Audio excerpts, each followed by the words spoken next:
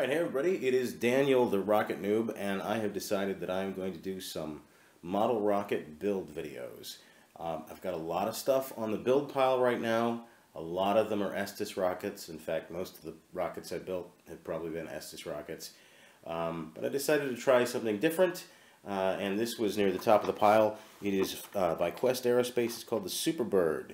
Uh, it's a payload carrying rocket. It's about 31 inches tall, 31 and a quarter inches tall. And uh, it's a low and slow rocket. It's supposed to lift off with a nice, slow, realistic liftoff. And you can see it's a three fin rocket. Uh, it's got a nice long body, supposed to be orange and white, or red and white.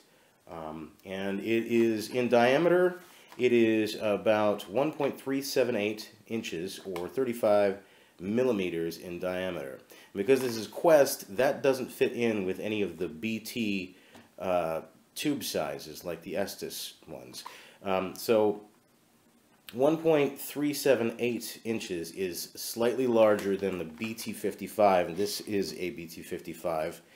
Um, and uh, this you'll find this in a lot of kits, including oh, the Goblin and uh, the Sky Commander and the Photon Probe, a lot of Estes rockets use this kit.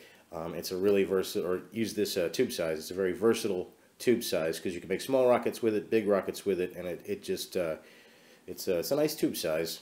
Um, and if you look at the tube in the kit, it's almost indistinguishable. Um, and another tube size that you find more rarely in Estes kits is the BT56. The BT56 is only slightly larger than the BT55 at 1.346 inches or 34.2 millimeters. So this one is almost as large as this, but putting it side by side, you can't you can't really tell the difference. You can't even really tell the difference between these guys, except if you try to couple them together, uh, it just doesn't work. Uh, it, it won't will not go. All right, so we're going to start with the unpackaging. You can see we got the package there. Um, I've had this one for a while. I thought it was out of production, but uh, I recently checked the Quest website and it's still available. It's only 17 bucks, uh, so it's a nice looking rocket. Uh, let's open her on up. Not really a good place to do this without cutting into, there we go.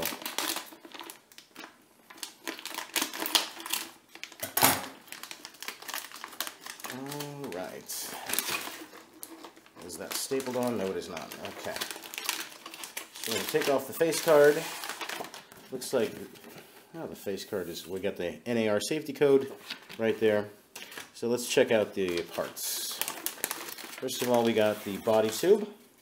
Uh, now this tube is, as I said, slightly larger than this one, but I'm going to couple these together. Yep, it definitely is. Uh, sometimes I've noticed with certain Quest kits, the size that the uh, instructions say the tube is is uh, actually slightly smaller than what, uh, or, or slightly larger than what they uh, they they did, they say that it is. Um, and sometimes you have to watch out for that when you're building certain kits. Uh, if that turns out to be the case here, we'll we'll talk about that. All right, so then we've got this um, this what looks like a coupler that is also uh, looks like part of a launch lug. Trying to do this around my camera. We got this nose cone. Um, this has got the classic Quest nose cone shape. There's there are a lot of rockets that have this nose cone shape, but they're uh, they're a little larger. Um, it's a tangent ogive with a spherical blunt, but as you can see, there's this sort of like uh, cylindrical section here, and this is a smaller one than I've built before. I built a few Quest rockets, but this is a little smaller.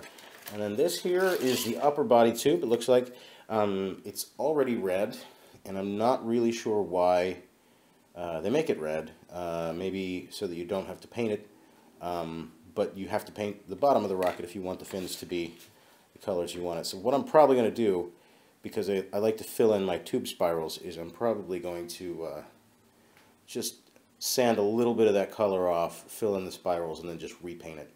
That's probably the, what I would do. Alright, so then we got our uh, instruction sheets. And it looks like we have, yes, the tubes. We got the nose cone. Uh, we got the coupler. I think that's the, the I, so that is the black tube coupler. Uh, Alright, so we got some decals here. Uh, these are self-stick decals, which is a little disappointing. I actually would like water slide decals a little better than the self-sticks because the self-sticks, yeah, they just tend to stand out a little bit more and they have a bit of a ridge over them. So maybe what we'll do is put those on and top it with a clear coat and see if that, uh, you know, hides the edges. Uh, we'll see. Or maybe we'll paint it a different color altogether. Quest rockets usually come with a parachute that you have to assemble yourself, and it looks like this one comes with two parachutes. And I don't know if that is an extra parachute, or if this is one of those Quest rockets that is supposed to come down on two separate chutes. I guess we will find out when uh, we get to that part of the build. Um, I actually might just use Estes uh, parachutes for this because I have a bunch of them, and I'll be honest, if you've never put a parachute together yourself, it's a little bit of a pain. Um, I'm not a huge fan of it. Uh, if I wanted to build my own parachutes, I could just do it out of a trash bag, but at least we have this if we want it and need it. First thing we have our fins, and this looks like this is about an eighth of an inch. Might be 3 30 seconds of an inch, but I think it's about more of an eighth of an inch. Let's check here. Thick. No, that looks like it's more like yeah, that's about an eighth of an inch thick. So we've got the three fins there. All right. And then inside we have a little bag containing some smaller parts. All right, so we have our shock cord, and it's uh, like a lot of kit, Quest kits. It contains two parts. It had Kevlar section and an elastic section and these are usually tied together and uh, somewhere in the middle and often mounted to the motor tube uh, which you see here the yellow, yellow motor tube um, I'm not crazy about uh, these for a couple of reasons first of all um, they tend to be very short and um, I don't know I've just had with the uh, the shortness of the the shock cord and the elastic you tend to get a little bit of snapback so uh, what I'll probably do is substitute something. You could substitute a long piece of sewing elastic and do an Estes style, what they call teabag mount. Um, but probably what I'm going to do is use a long bit of Kevlar kite string. I got this from a website called emmakites.com. Uh, this, unlike the Kevlar you often get with uh, model rocket kits, which is twisted and doesn't have any give to it, this is braided, and so it, it's a little more flexible. It's easier to pack into the rocket. It's um, flame retardant and it is surprisingly lightweight. Um, a nice good length of this is lighter than the typical rubber band you get with a lot of Estes kits. Right. so, then we have our motor tube, our yellow motor tube. Now these Quest motor tubes um, tend to be a little weak and they're pretty easy to crush. Uh, when I taught Model Rocket Camp and we built our Quest rockets, um, a lot of times the kids had trouble getting things glued together without just, just crushing the heck out of these things. And as you can see, it's already kind of distorted there. So I'm probably going to swap out a piece of uh, BT50, sorry, BT20, which is the, the right size for a, an 18 millimeter motor, a B or C motor that'll fly with this thing. And, uh, and I got that from jonrocket.com. Of course, then we got the thrust ring, that's going to go in there and keep the motor from shooting up out the top of the rocket. Uh, we have a motor hook. It's very similar to an Estes motor hook. It's got that thumb tab, and I'm probably going to just cut that right off because I'm not too crazy about those things.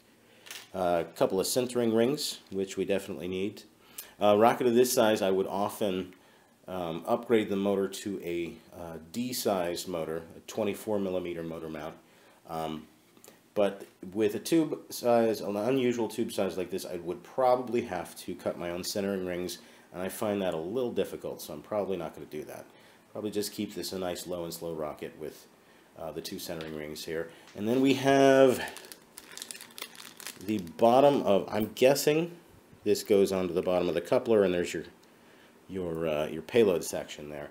It is open, um, so it's got uh, it's got an open spot right there, and that looks like where the chute or the shock cord attaches.